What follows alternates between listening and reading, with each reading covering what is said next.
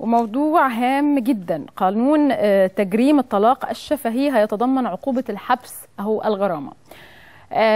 دكتور عمرو حمروش آه، أمين سر آه، لجنة الشؤون الدينية بمجلس النواب قال إنه هيتم استطلاع رأي المؤسسات الدينية المعنية من هيئة كبار العلماء ودار الإفتاء في قانون تنظيم الطلاق الشفهي بالإضافة إلى آه، إن قانون القانون ده يعني هيتضمن عقوبة الحبس أو الغرامة.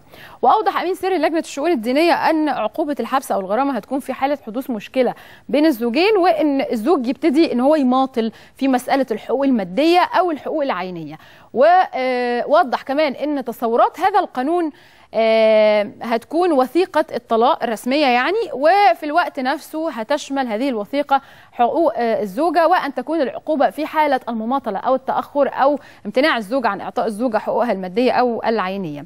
أشار حمروش أيضا إلى أن هيئة كبار العلماء بالأزهر الشريف في جلسة لها قالوا أن الطلاق الشفهي صحيح بس بيستحب توثيقه رسميا لدى مأذون شرعي وحول ما إذا كان القانون ده هيعترف بالطلاق الشفهي ولا لأ قال أمير سن اللجنة الدينية عشان يوضح يعني الموضوع أن الموضوع ده هيتم آه، في الرجوع لهيئة كبار العلماء بالأزهر ودار الإفتاء المصرية آه، طبعا ده آه، يعني الفكرة دي ابتدت لما طبعا أنتوا شفتوا أول امبارح طرحها الرئيس عبد الفتاح السيسي في الاحتفال بأعياد الشرطة أول امبارح.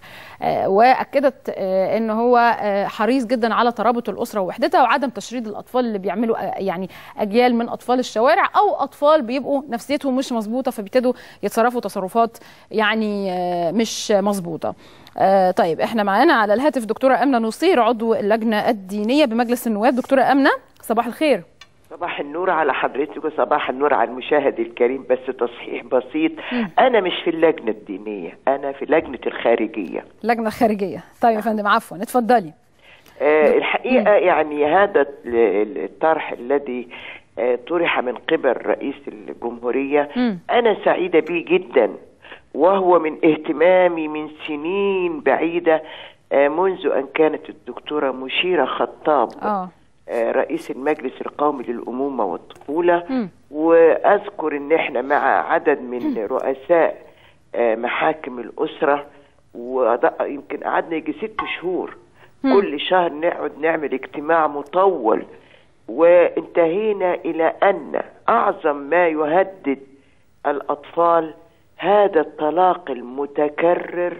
الشفوي أو بعد ما يوثق وتنتهي العلاقة الأسرية آه. ده بيصيب الأطفال بحالة من الاضطراب وعدم الأمن بين أسرة تحميهم وثبت من البحث الذي قامت به إحدى المؤسسات المحترمة تمام. أن 94% من أطفال الشوارع ثمار بيت الطلاق. 94 ولا في المئة. 94 94 في آه. المئة من أطفال الشوارع نتيجة أو ثمار. هذا الطلاق وتشريد الأطفال وتركهم للبيت بعد أن يتم الطلاق. الزو... الأب يتزوج والأم تتزوج ويصبح الأطفال بنات أو صبيان.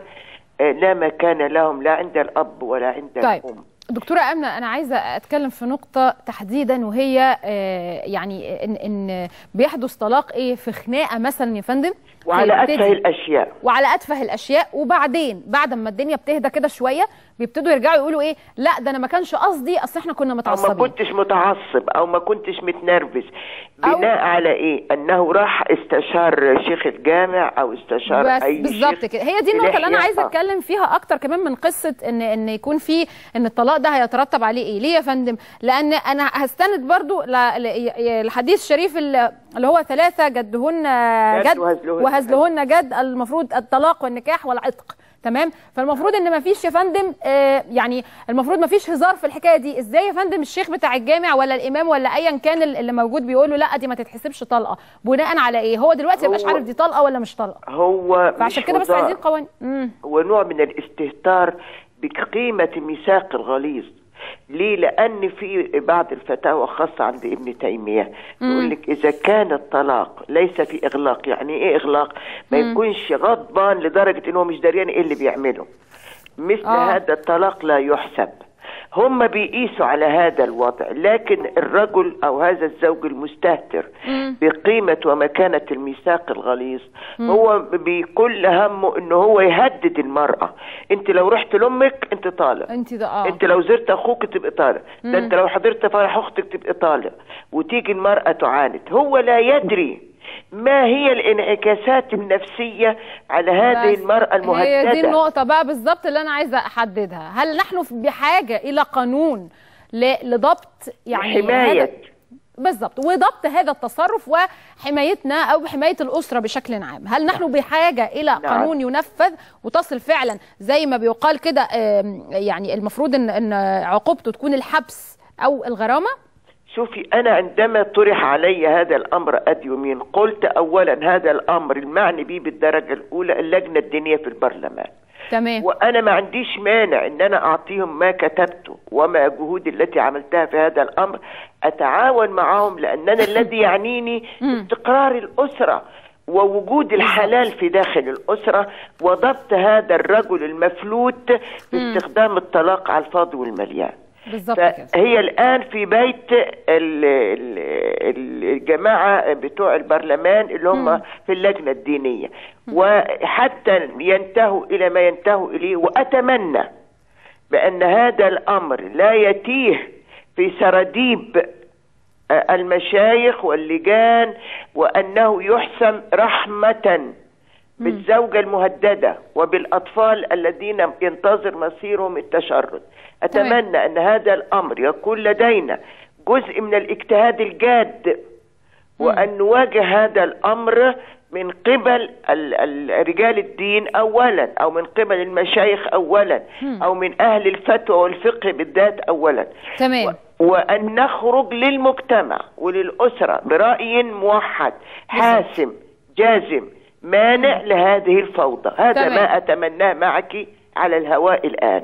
بضم صوتي صوت حضرتك طبعا آه، الهدف هو الحفاظ على ترابط المجتمع وإن حدث آه، يعني قدر الله حدث طلاق آه، يكون برضو بشكل محترم. أنا بشكرك شكرا جزيلا على التوضيح دكتورة أمنة نصير عضو اللجنة الخارجية بمجلس النواب.